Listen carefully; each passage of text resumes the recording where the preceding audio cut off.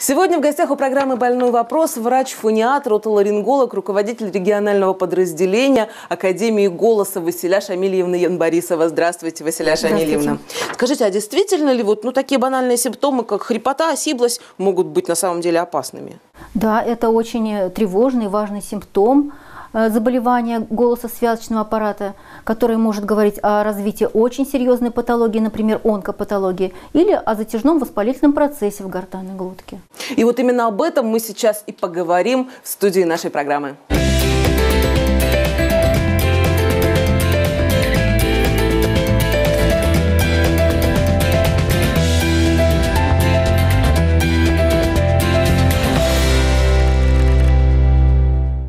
Большинство людей редко задумываются о собственном голосе, а ведь у каждого человека он неповторим, как отпечатки пальцев.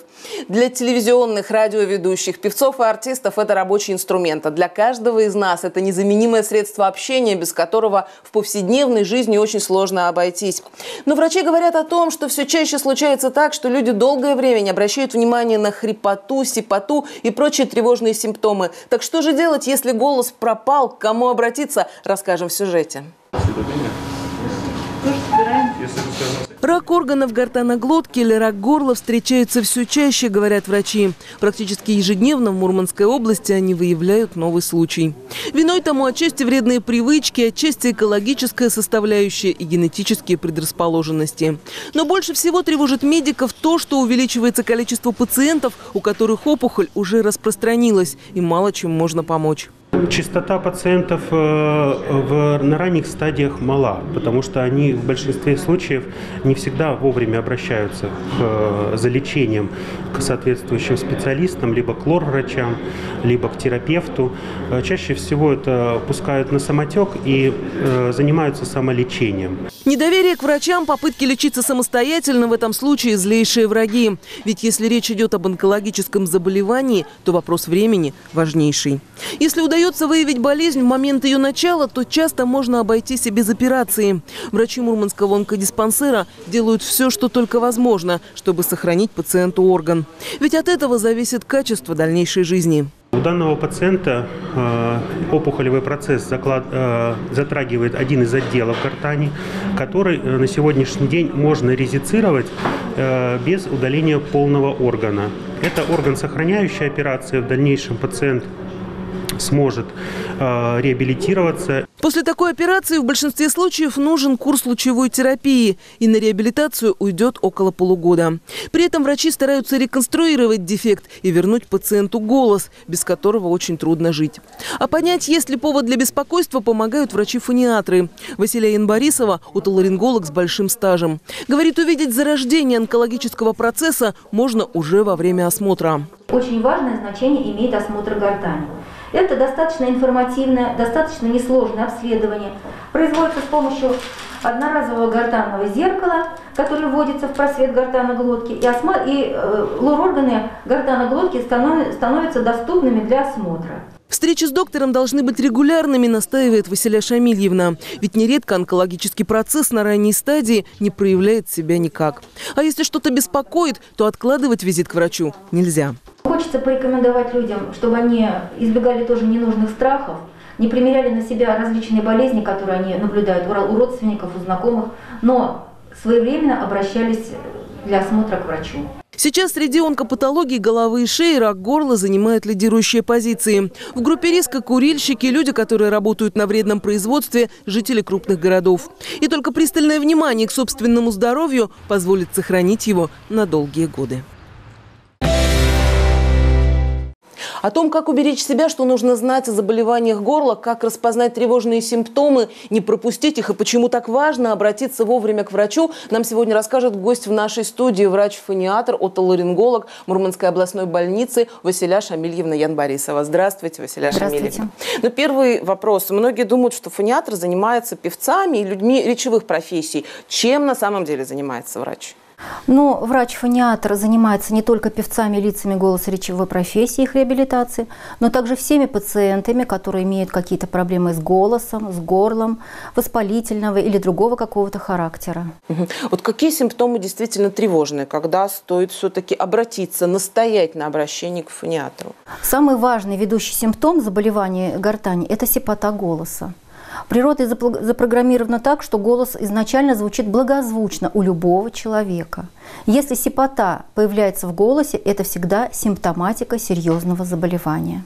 Но бывает же так, что мы простудились, да, и некоторое время после простудного заболевания там подсипываем, подхрипываем, да. неуправляемость какая-то. Это значит, что нужно к врачу или само пройдет? Это тоже симптоматика, но только более легкого воспалительного заболевания. Бывает, что и само пройдет при респираторных инфекциях, но все равно я бы рекомендовала в большинстве случаев обратиться по этому поводу к врачу. Скажите, пожалуйста, а, а сипота может быть все-таки признаком еще и онкологических заболеваний, да? Вот как происходит ранняя диагностика, что это такое? На самом деле диагно... ранняя диагностика онкозаболеваний гортана глотки не такое сложное э, дело.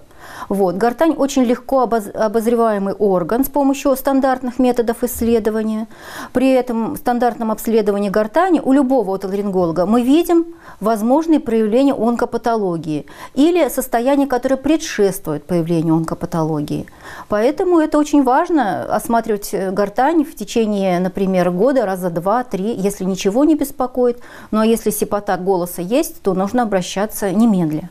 То есть можно выявить э, патологию еще даже пока не случилось страшно и нет онкологии. Да, потому что изменение ткани на самом деле предшествующее развитию онкозаболевания, рака, опухоли, видимы глазом. Их можно посмотреть.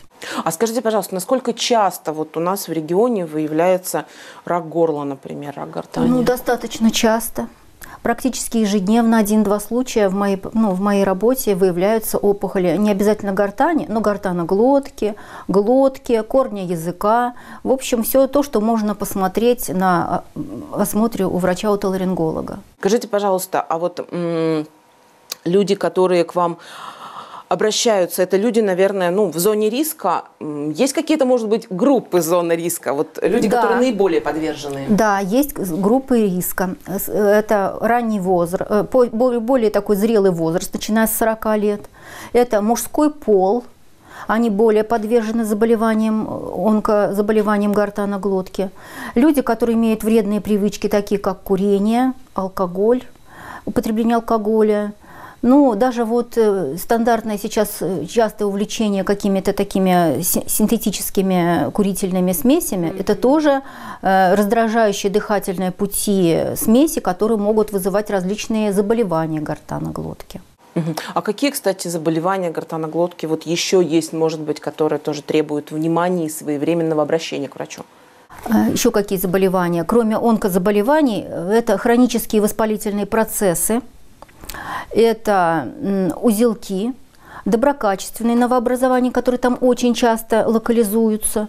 Но в основном, конечно, гортань и гортаноглотка – это все средоточие лор-онкологии. Угу. То есть не ухо, не нос, но вся лор-онкология это сосредотачивается в гортаноглотке. Скажите, пожалуйста, а если вот все-таки выявили на ранней стадии, да, э, удается помочь человеку? Насколько эффективно? Да, на ранней стадии очень хорошие результаты. У меня есть такие пациенты, с которыми я дружу, которые уже и 20, и более лет прожили после небольшой щадящей операции, сохранили все, и голос, и хорошее дыхание, трудоспособность, радость жизни, потому что своевременное обращение позволило ему удалить маленький фрагмент ткани в области голосовой складки и добиться полного излечения. А лечение проводится. Вот что предстоит пережить пациенту, да, если все-таки у него выявили онкологическое заболевание? Ну, объем и технику лечения определяет врач, вот, э, врач-онколог. Угу. Мы только направляем на специальные методы лечения.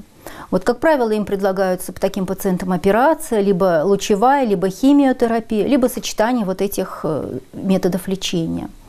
Вот. Чаще всего это операция, которая органоразрушающая, которые ну, удаляются у пациента, часть гортани, голосовые складки, даже иногда вместе с тканями шеи. Если распространенный процесс. То есть и выводится трахеостома с дыханием через трахеостомическое отверстие таким пациентам. То есть получается после такой операции голос пациент теряет. И это навсегда? Вот есть какие-то методики, может быть, восстановления как-то? Значит, голос пациент э, теряет сразу после операции, но не навсегда. Вот. В принципе, надо сказать, что в природе всякие есть заместительные механизмы голосообразования, которые очень хорошо развиваются при определенном занятии с таким пациентом. Значит, с такими пациентами, если они обращаются к нам, вот, проводится курс фонопедической реабилитации, который позволяет им восстановить навыки утраченного голоса, полностью практически восстановиться – и вернуться к своей профессии, к активному социальному общению, коммуникациям. Вот. Есть пациенты очень хорошо замотивированы восстановить свой голос, у них, как правило, очень хорошие результаты. иногда эти пациенты даже неотличимы, в общем, от э, пациентов, которые просто ходят у нас по коридору, их, они разговаривают, общаются с регистратором, их слышно, работают. В общем, в строю в активном такие пациенты. Угу.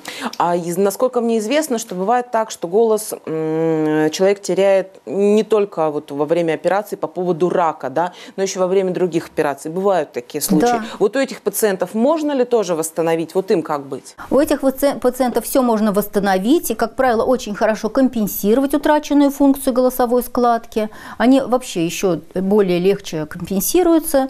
Просто нужно, чем раньше они обращаются, такая группа пациентов с послеоперационными осложнениями, тем лучше у них успехи. Но на любой стадии мы, мы никогда не отказываем, начинаем брать пациентов на реабилитацию. Ну, это очень хорошая новость, что голос можно не обязательно терять навсегда. И, конечно, очень важно напомнить базовые правила, да, то есть это внимание к себе, правильно? Да.